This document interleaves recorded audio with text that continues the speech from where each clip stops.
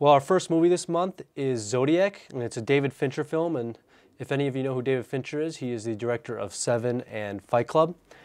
And this movie deals with the Zodiac killer, who was a serial killer in the San Francisco Bay Area around the 1970s.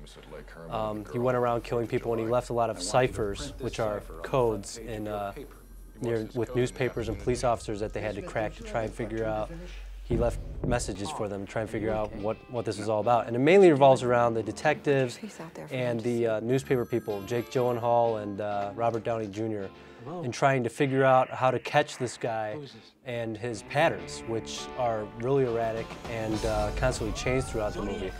And uh, just a basic type of thriller movie.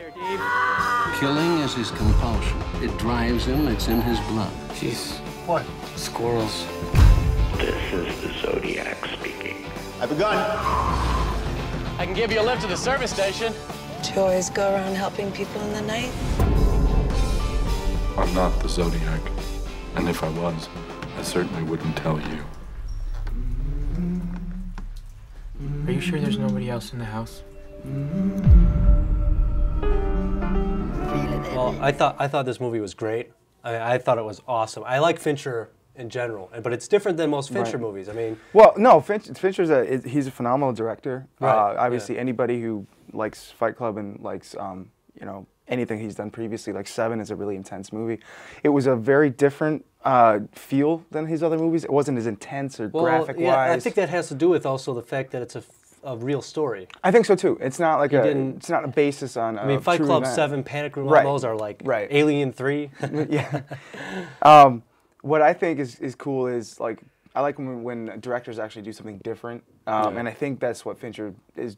I'm not, not necessarily trying to do. well, he stretched. He did a he- stretch, yeah, and I think it was awesome. I mean, I, I think so. It was a very good film. Um, I- you know, I, I know Fincher's one of your favorite directors in. Yeah, oh yeah, world. yeah. I Uh, love Fincher. Uh, he was my favorite up until recently. I like Christopher Nolan too, but Fincher's Fincher's there. Fincher's Right. awesome. I admire Fincher's him very much. So, Right.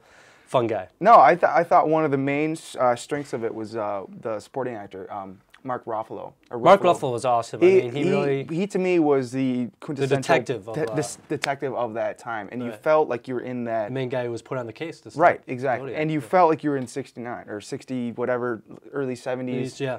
I mean, with the way they shot that film, it was Yeah, kind of like And also, I mean, the killings were just so brutal, but they weren't glorified. They weren't. That too. And you noticed that you didn't see every single one. There was No, only no, no, select few um, killings that you saw, yeah. and the ones you did, it were like, wow, that was Well, and I mean, that was tough. just if if people know what happens in the end, which is very possible because it's a true story, and I did, uh, you still are very caught up in this movie. Mm-hmm. Oh, and I you're mean, still this thing keeps guessing, going you're- and going, and you don't know. You can't remember. Oh, well, what happens to this guy? Does this guy die? Right, he- and- and it, there's like scenes of, of this great intensity, but they're so small and little. They're done Mm-hmm. played so well where you feel that they're very real. what the what the most thing is people have to understand about this movie is that if you just want to rent it one night, you gotta sit down and watch the entire thing. It's not a movie where you can Yeah. just sit down, watch two minutes here, five minutes here. It's very heavy, No, based that's- on vocab. Uh, if you miss two minutes, you're you know. No, you yeah, I mean. I mean, yeah, I, I, uh, I only had to leave once for a break, and I mean, I luckily it was it wasn't anything that was dialogue driven. Right. it's a very dialogue driven movie. That is true. And That is true. uh, but pitch perfect. I mean, everything looks like it should. Mm-hmm. Everybody acts like they should. Jake Gyllenhaal, I loved him. Um, See, I, you- I, I thought he was a little bit weak for that part. I would have seen Uh, somebody like Mark Ruffalo made up for him though. For me, I don't know. I, think liked him. He was a he dorky, dorky little guy at the thing. I mean, he, seemed he had that timid for me. nervousness. I don't Well, know. I don't anyways, know. anyways, um, my star rate, I give this four stars. I thought it was just, I thought it was phenomenal. I think the actors did well. I think Jake Gyllenhaal was awesome. Every, I, the only problem I could see with most people is it's a little long. It's Right. two hours It and uh, it felt 50 a little minutes. long, too, but yeah. um, but I didn't really feel. I felt it maybe once, and that was that was very little. Well, the only reason I'm giving it three and a half stars is because Jake Gyllenhaal I thought did not do great, a great job, and it Oh, felt a little man. long. It was a very good film, very Yeah. good film for David Fincher.